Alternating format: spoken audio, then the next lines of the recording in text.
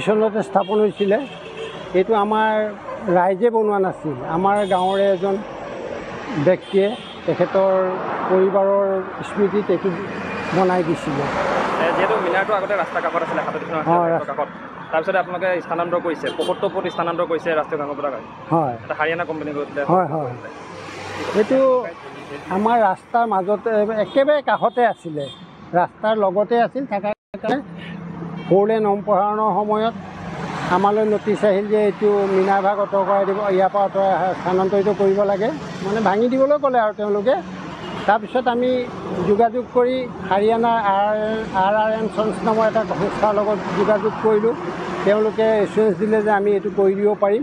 সেইমতে আমি তেওঁলোকক মাতিলোঁ। তেওঁলোকে ঊনৈছ দুহেজাৰ ঊনৈছ চনৰ পৰা ঊনৈছ চনৰ মাৰ্চ মাহৰ পৰা চাৰি মাহ জুৰি কাম কৰি দিনে ৰাতিয়ে কাম কৰি পঁয়সত্তৰ ফুট স্থানান্তৰিত কৰি দিলে। মানে সকলো অসমৰ সকলো ৰাইজে দান ইয়াত অসমৰ ইটো মূৰৰ পৰা সিটো মূৰলৈ সকলো ৰাইজে দান বৰঙণি আগবঢ়াইছে।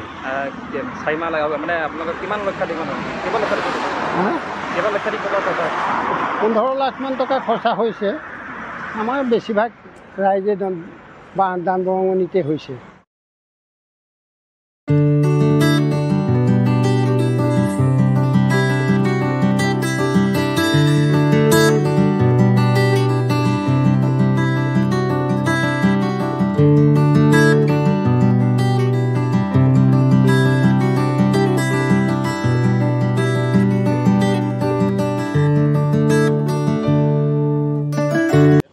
হয়। সেইটো আগতে আমাৰ ৰাজহুৱা কিবা অনুষ্ঠান পাতিলে কিবা ভোজ ভাত পাতিলে এইবিলাক ব্যৱহাৰ হৈছিলে। এইবিলাক আহোম যুগৰে বস্তু। তেতিয়াৰ পৰা আমাৰ ইয়াত আছেই বস্তুখিনি। ৰংঘৰ কাৰেংঘৰ কাৰিকৰী শৈলীত। হয় হয়। কাৰিকৰী যি শৈলী আছে সেই হয় ৰংঘৰ কাৰেংঘৰ শৈলীতে বনোৱা হৈছে। আৰু এই মীনাৰ ভাগত ৰদ নাই। সেই ৰদৰ সলনি কাঠৰহে শৈলী ব্যৱহাৰ হৈছে। বাঁহৰ বাঁহৰ শৈলী ব্যৱহাৰ কৰা হৈছে।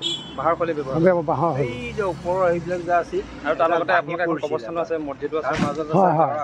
মছজিদ আছে কবৰস্থান আছে আৰু আৰু তেওঁলোকে আপোনালোকে আৰু কিবা কিবি সংৰক্ষণ কৰি আহিলে সংৰক্ষণ মানে আমাৰ মছজিদ কবৰস্থান আছে তাৰ উপৰি আমাৰ সেইখিনিত এখন পুৰণা কবৰস্থান আছে আমাৰ ঈদগাহ আছে।